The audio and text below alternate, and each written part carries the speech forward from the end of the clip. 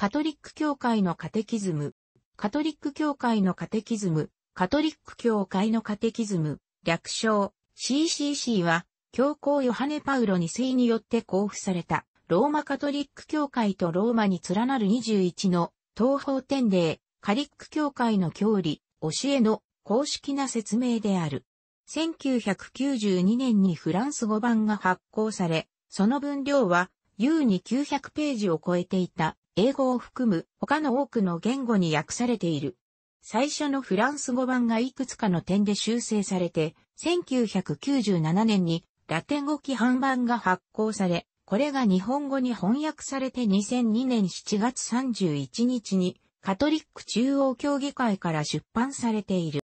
その後2005年にはカトリック教会のカテキズムの忠実かつ確実な要約としてカトリック教会のカテキズム要約コンペンディウムが教皇ベネディクト16世によって交付され、日本語版も2010年に出版されている。カテキズム、要理教育は、恐怖たちの時代から書かれてきた、時に問答形式で示される教義の要約と定義されてきた。はじめは苦伝だったものが、次第に書物、要理書として書かれるようになり、16世紀の宗教を改革以降に全世界のカトリック教会に広まっていった。第二バチカン公会議以前まで日本のカトリック教会で使われていた公用理も、これらの教理問答書を元にしたものであった。その後、第二バチカン公会議で、用理教育についての考え方が新たになり、それまで子供と洗礼志願者だけを対象としていたものが、大人の信者も、用理の勉強をしなければならないと考えられるようなった。その動きの中で1985年に開催された臨時シノドス、司教会議において、信仰と道徳に関するカトリックのすべての教えについてのカテキズム、概説書が要望され、これに応えて、教皇ヨハネ・パウロ2世は、翌1986年に、教皇長教理省長官であるヨゼフ・ラッツィンガー、枢機卿、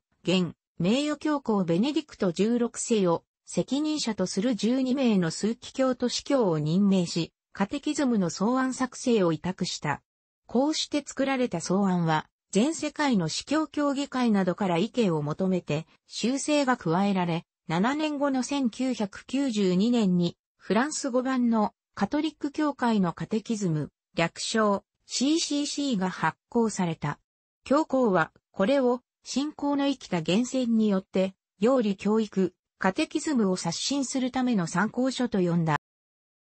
CCC は4つの主要な要素で構成されている。これらは4つの柱とも呼ばれ、密接に関連し合っている。その内容は詳細に脚注が付けられており、関連する教えの参照先や聖書、聖伝、恐怖の著作、聖人伝、公開義及び近年の教皇たちによる教養などが示されている。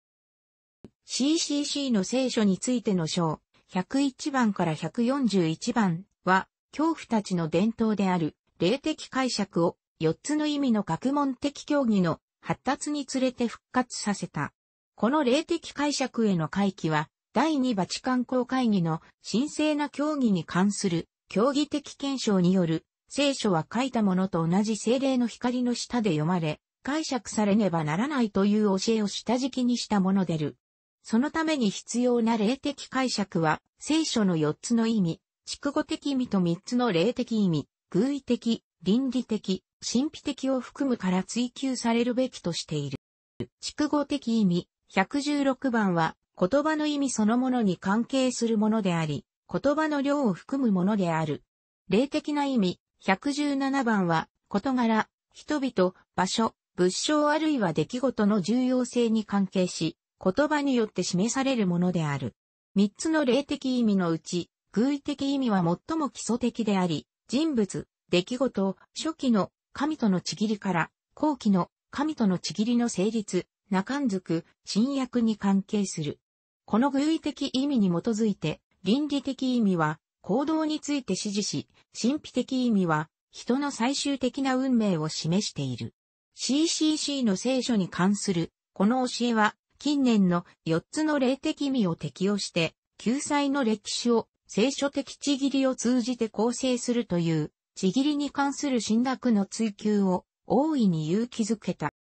カトリック教会のカテキズム要約、コンペンディウムは、カトリック教会のカテキズムの忠実かつ確実な要約として、2005年6月28日に交付された。交付に先立ち、同年3月20日に、編纂特別委員会委員長のヨゼフ・ラッツィンガー、数奇教、後の教皇ベネディクト16世が要約の序文を発表している。なお、当初はカトリック中央協議会では要約ではなく公用と訳していた。要約、コンペンディウムは古代からの伝統である問答形式の要理教育書を反映して598の Q&A により構成された問答形式をとっており、教会の信仰の本質的かつ根本的な要素を清しな形で提示している。また、節目ごとにカラーの聖画図版とその解説が挿入されており、それらも教理理解のために主要な役割を果たしている。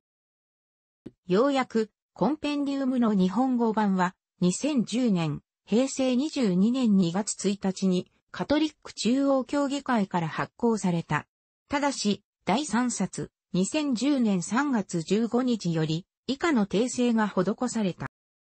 教皇ヨハネ・パウロ2世は、以下のことを厳かに宣言した。CCC が弱気した教会の教えへの興味が、カトリック教会の輪の外にさえ及ぶことは、前教皇ベネディクト16世が、教皇になる前に記されている。現実に、現代のカトリック教会においては、カトリック教会のカテキズム、CCC の基本的な目的を、教会が自ら日々の生活の中で宣言し、祝い、生き、祈っていることを一人一人が知ることを可能にする、カトリックの教えの全般的かつ包括的な説明であるとし、CCC とその要約が要理教育の規範として用いられている。CCC を批判して第二バチカン公会議以前に戻ろうとする保守的動きについては歴史において新しい段階に入っている教会の歩みを逆行させるのは原則的には意味がないと否定している。カトリック教会のカテキズムは9カ国語の版が下記のサイトで参照可能である。ようやくコンペンディウムについては14カ国語が以下のサイトで参照可能である。楽しくご覧になりましたら購読と良いです。クリックしてください。